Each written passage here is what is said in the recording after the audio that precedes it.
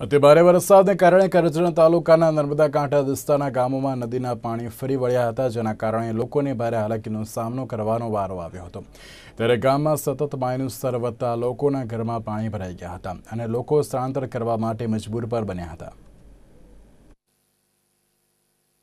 ઉપરવાસમાં ભારે વરસાદના કારણે નર્મદા નદીમાં ભારે પાણીની આવક થતાં કરજણ તાલુકાના કાંઠા વિસ્તારમાં ગામોમાં પાણી ફરી વળ્યા હતા.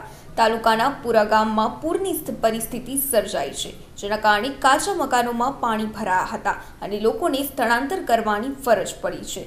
ખેતી અને પશુપાલનની સાથે સંકળાયેલા ગામ લોકોએ પશુઓને સલામત સ્થળે સ્થળાંતરિત કર્યા હતા અને ખેતી પાકને થયેલ નુકસાનીમાં આર્થિક મદદ કરવાની પણ માંગ કરી હતી. કરજણ તાલુકાનું પૂરા ગામ. અત્યારે બે દિવસથી નર્મદા પાણી અહીંયા આગળ આવી ગયા છે. અત્યારે ટોટલી અમારી જે સીમ છે, જે ટોટલી જગ્યાએ પાણી છે, કપાસ, તુવેર, કેળ, પપૈયા, આ બધા પાકને બરાબર નુકસાન થઈ ગયેલું છે. હવે સરકારને અપીલ છે કે જો આ નુકસાની આપે, તો અમારે બાર મહિનાનું ઘર ચાલે એવી પરિસ્થિતિ છે. તો નુકસાની આપે તો વધારે સારું. હવે અમારે જે ગામમાં જે સ્થળાંતર મોટી કોરલમાં અહીંયાથી સ્થળાંતર થઈ રહ્યું છે. તો જે ગાય, ભેંસ છે, એ બધું તો અમે સ્થળાંતર કરી નાખ્યું છે. પણ અત્યારે પાણીની સપાટી ધીરે ધીરે વધતી જાય છે. એટલે ગામમાં લોકો બધા ધીરે ધીરે હવે સ્થળાંતર કરવા જઈ રહ્યા છે. પણ આ આ- આગળથી જે પાણી છૂટે છે, એના જે મેસેજ મળવા જોઈએ, એ મેસેજ હોય મળતા નથી, એટલે અમે કન્ફ્યુઝ થઈએ છીએ કે હવે સ્થળાંતર કરવું કે ના કરવું.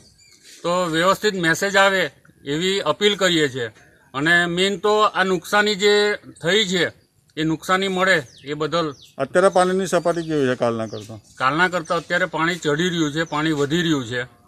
ગઈકાલે ઓછું હતું અત્યારે લગભગ બે ફૂટ પાણી વધી ગયું છે. હર વરસાદ વરસવાથી નર્મદા નદીમાં જે પૂર આવ્યું છે એનીમાંય આલમપુરા ગામનીમાંય કપાસ મરચી તુવેર દિવેલા ટીસ્યુ કેળ એવાનીમાંય છસો હેક્ટર જમીનનીમાંય ભયંકર નુકસાન છે. કોઈપણ પાક ઊભો રહી શકે એવી પરિસ્થિતિ નથી. પાણી ઉતરશે એટલે બધા જ પાક ખલાસ થઈ ગયેલા હશે. નવેસરથી પાક ઊભા કરવા માટે ખેડૂત પાયમાલ છે. લોકડાઉનની અસરના લીધે ગયું વર્ષ આખું કોઈ ઉત્પાદનનો ભાવ મળ્યો નથી. અને એ ઉત્પાદનનો ભાવ ના મળવાથી ખેડૂત આમાંય કંગાલ તો હતો જ. અને વધારે જે આ પૂરના લીધે આવ્યું તો શિયાળુ પાક કરવા માટે પણ ખેડૂત પાસે એવું નહીં હોય. તો સરકારને અમે વિનંતી કરીએ છીએ કે સર્વે કરવાનો ટાઈમ કાઢ્યા વગર તાત્કાલિક ધોરણે કંઈક પણ જો ખેડૂતોને સહાય કરવામાં આવે તો યોગ્ય સમયે ખેડૂતને સહાય કરેલાની એક પ- અનુભૂતિ થશે. બાકી મર્યા પછી પાણી પીવડાવવાનો કોઈ મતલબ નથી. મારી વિનંતી છે કે વરસાદ પુષ્કળ પડ્યો છે અને ખેતીમાં બહુ નુકસાન છે. અને બેંકોની અંદરથી અમે જે લોનો લીધેલી છે એ લોનો લઈને અમે ખેતી ઊભી કરી છે. અત્યારે અમારી પાસે કોઈ પણ જાતનો પૈસો નથી ખેતી કરવાનો. તો અમારી લોન તમામ માફ કરવા વિનંતી. કરજણ તાલુકાના પુરા ગામમાં નર્મદાના પાણી ફરી વળતા લોકોને ભારે મુશ્કેલી થઈ રહી છે. ગામની પ્રાથમિક શાળા અને મંદિરોમાં કેડસમાં પાણી ભરાયા છે. જ્યારે કાચા મકાનોમાં પણ પૂરના પાણી ભરાતા લોકો ઘર છોડવા માટે મજબૂર બન્યા છે. સતત પાણીના સ્તરમાં વધારો થતાં લોકોએ પશુઓને સલામત સ્થળે પહોંચાડ્યા હતા અને સ્થળાંતરણ કરવાની ફરજ પણ પડી હતી. નર્મદાના ઉપરવાસના ભારે વરસાદના કારણે નર્મદા ડેમમાંથી જે પાણી છોડવામાં આવી રહ્યું છે, અત્યારે હાલની અંદર નર્મદા બે કાંઠે વહી રહી છે અને નર્મદાની અંદર પૂર આવતા કરજણ તાલુકાના ચૌદેક જેટલા ગામોને અસર થઈ રહી છે. આપ મારી પાછળ જે જોઈ રહ્યા છો તો કરજણ તાલુકાનું આલમપુરા ગામ છે. આલમપુરા ગામના ખેતરો અત્યારે બેટની અંદર ફેરવાઈ ગયા છે.